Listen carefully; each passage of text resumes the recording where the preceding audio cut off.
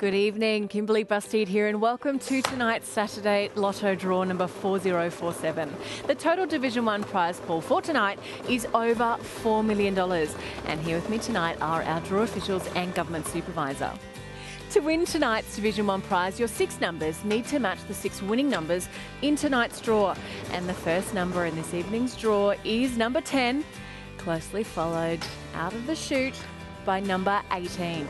In last Saturday, Saturday's Lotto $8 million jackpot draw, five lucky players became overnight millionaires, each picking up close to $2 million. Well, tonight you'll also need ball number 16 and out of the barrel number 43.